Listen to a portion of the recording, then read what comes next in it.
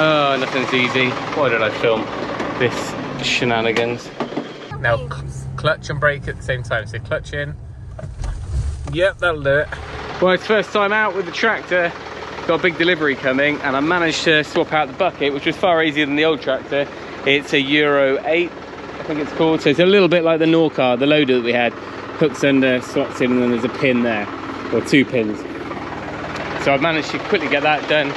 The driver said he was about five minutes away, or it, he had 10 minutes, now he's five minutes away. So all being well, this should lift our pallets. I've ordered, I think, a ton of pig feed. So.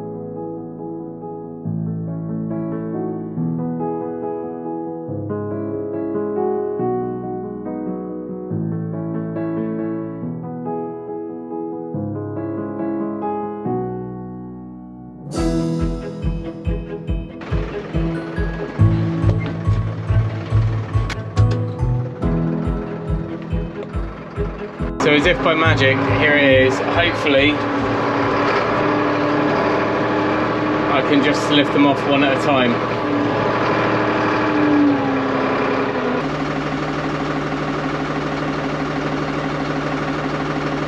This guy's just reminded me that last time he remembers uh, when we had the smaller tractor, we had to we had the forks on, we had to split it over two or three pallets.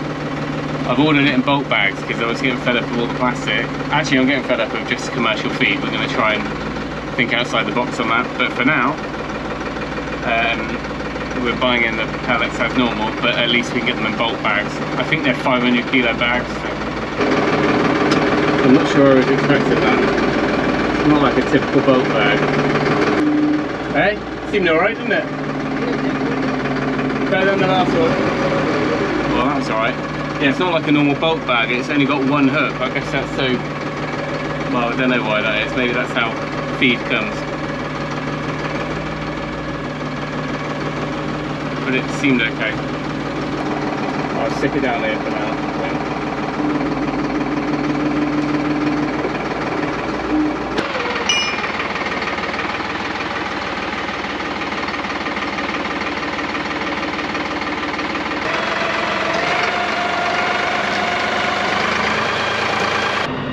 So much more stable with a full load. Doesn't help that I've got a massive ditch that still hasn't been filled in. This trench is collapsed after the freeze. All the backfill was frozen, so it's now a bit smaller than it should be. Chewing the ground up a bit more with these tyres.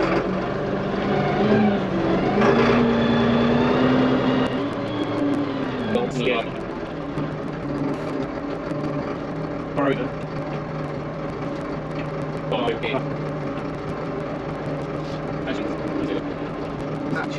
I just need to move the sheep trailer and then we have a lot more space to play with.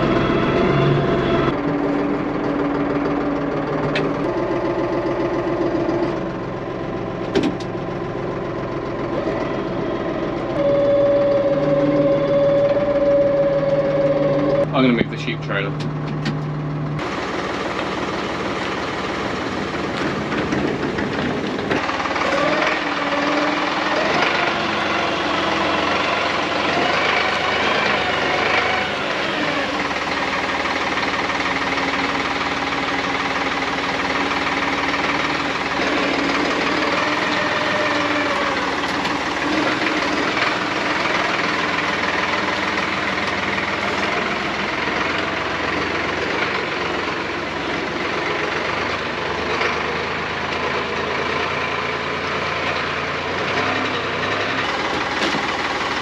Well, we now realise the negative side of bulk bags. How did that even happen? Tiniest snag on the bottom.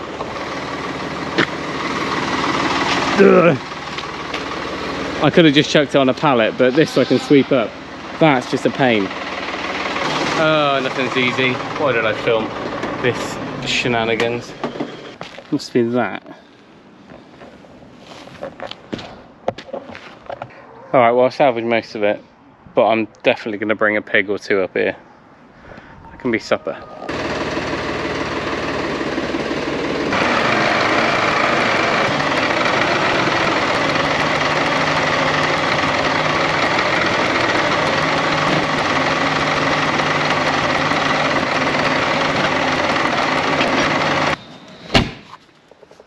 Did the job though, didn't it?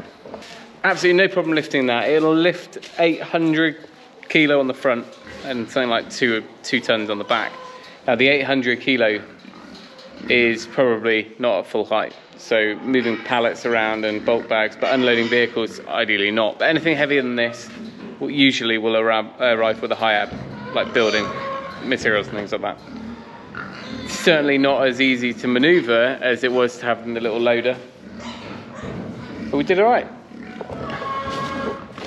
I'm afraid, pigs, that it's kind of uh, teasing you a bit. So having the dessert trolley right by your table without being able to eat it. Now I would let them out to tidy up up there, but unfortunately these guys all got out this morning and already finished off a bag of feed and the goat feed, hence why it's like straw bale Fort Knox here at the moment. They're, I mean, this is only temporary. They came in when it was snowing, um, and I thought it was just kind of an experiment to see who fared better, these four or the four outside.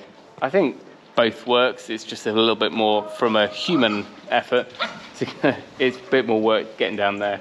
Whereas these guys have got automatic drinker and I can feed them in one go and it's just a little bit easier. But um, I don't know, jury's out whether we overwinter the, any pigs we do have in a straw barn or whether we keep them out. They're only on mud now, so mud versus straw, don't know. But as far as why we've got a bigger tractor now. Where we were struggling with our little blue, who was perfect for most of the stuff we needed. But what we need to do this year is a load more work on the farm, which requires more power, more weight, uh, and therefore things like laying pipes, which is you know pulling pipes through um, all of the fields down to, well four fields. There's probably about 600 meters worth of pipe to to get laid. Also, we need to do a little bit more fencing. Whether we use this at all for that, I don't know, uh, because obviously Tom has all the gear on the back of his ready. But also, we need to get our track built and grading out gravel and stuff like that. This is going to be far better. The bucket on it is much, much bigger. And lastly, we need to work on getting the fields a little bit opened up. So either with the mole plough, uh, hopefully it's going to be the same uh, attachment that I'm buying, which is like a pipe layer mole plough type um, soil slitter. So that's just going to help break up the soil on some of the impacted areas of the fields so we can then start sowing more herbal leys like this stuff here which I still haven't got around to sowing in the autumn so hopefully it's held up absolutely fine and we're going to get that in the ground that's got more like herbal laden wildflower and stuff and a lot of those species will get down into the soil, the deeper soil, start breaking it up and loosen it, uh, and then everything just gets a little bit more healthy. Because at the moment, there's only about this much soil which is usable by plants, uh, and therefore only that much is being grazed. Whereas down on the bottom, on the flood meadows, the soil is so much better that the grass can get down deeper, grow better, more grazing, stays um, green longer, uh, in the dry spells. So all in all, we know what we've got to do. We just needed the tool for the job. While we're having a walk around, goats are bedded down. We've switched. Pigs were in here. The girls did an amazing job of mucking all this out. So we need to start getting this down onto the compost muck pile, start getting it worked through so that hopefully we can get this used this year. A lot of this, you know, this was 100 cows in there at one point. A lot of it when you dig down, you get into stuff that's 20 year old cow muck. So uh, that could probably, I don't know, it's probably just ready to use, I guess. But anyway, all of it's been mixed up with the pig stuff and the straw. It's all gone down, and we're going to be using that hopefully later in the year. So, one, two, three, four, five. These girls are ready to kid very soon. We're at two weeks off now, aren't we, Fluffy Buffy? She is an absolute monster. Look at the size of her. You can see them kicking away as well. So I don't know how many she's going to have, but she's certainly the one that looks the closest. This one, I'm not 100% sure is pregnant at all. Um, don't know. I might just be misreading it, but she just looks like a little tubby. a tubby goat rather than a pregnant goat, but we'll see. We'll wait and see. Either way, the due date for these five girls is between the 31st of Jan and mid-Feb. So the plan is, if we do keep them down this end of the barn, is we'll split them up, and I think I'm going to use these cubicle stools uh, from the dairy cows, and I'll try and use hurdles or pallets, and we'll make those up into pens. So that way we've got one, two, and I'll probably use three, four, five along this side. That just means for the first couple of days, they can bond and then go into one mixed pen. And I think, well, I'm talking from no experience at all, but hopefully that'll work fine. Hey? Yeah, she's wider than she is long. Maybe in the comments, uh, give us your best guess. We've got five goats here. The average is twins, but they can have three, four even. Uh, so we'll wait and see. I'm hoping twins all round. That should make things a little bit more hassle-free. Now, Fluffy, you can't come off. You're going to break those sheep hurdles.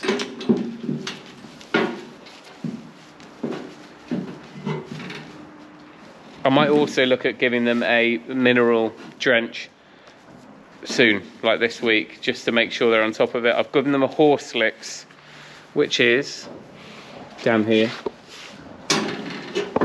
which they're pretty much through. Goats need copper, something that sheep licks don't offer. So that's why a lot of times it's horse or calf products, I think, that are used for goats. But they'll go to town on this when they need it. But another way to do it instead of the licks is to give them a drench, which is like a mineral boost. Um, so it's all internal. Or then the other option is like a free choice minerals, which is arguably the best route, which is when you have all the different minerals in like a little flappy box and they can just get what they need.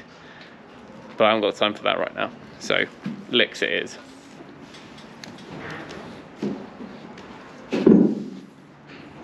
We've had a few coughs and colds, which I initially I was really worried about, but actually having spoken to a few breeders when it's cold weather, they have the sniffles sometimes and it clears up. So they've, I haven't heard any coughs lately, but hopefully they'll be all right. The opposite is true for the pigs, where very, very few ailments ever. Um, isn't that right, boys? So the only thing that we've ever had, touch pig, um, go wrong with the pigs is just the occasional parasites, external parasites. Um, we've wormed, we've never wormed the pigs, although when you do a treatment for uh, the lice or um, that they can get, I think that's internal treatment as well. However, when I've done a fecal egg count on Matilda and also the piglets, I sent that off to the lab and there was very, very, very little uh, to worry about at all. So there was no need to treat them for anything. So as a rule of thumb, pigs are harder work to look after, more expensive to feed, but seem to be a far more robust animal and less to go wrong. This, this is Runty. Runty was the, the little tiny one way back when they were all born back in the summer, who we had to feed on goat's milk and kind of give a boost to. But now, he's kind of leader of the pack.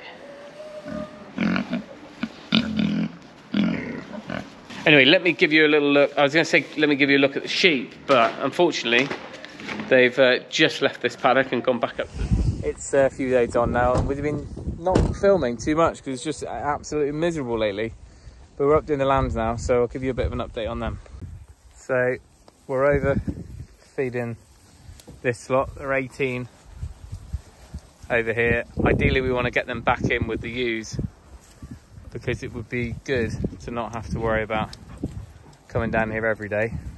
But before we can do that, we need to pull the rams out. So that's still an And ongoing. spray paint them. And spray paint them. That's me. We just need to mark up the ewes because some of these are getting bigger and bigger. It's just, it's actually easy to tell with the Lleyns, but with the South Downs, they all look a bit similar. Come and um, grab half a bale off here. Okay. Ready?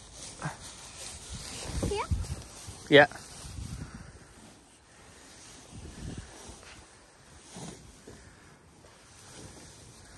Got it?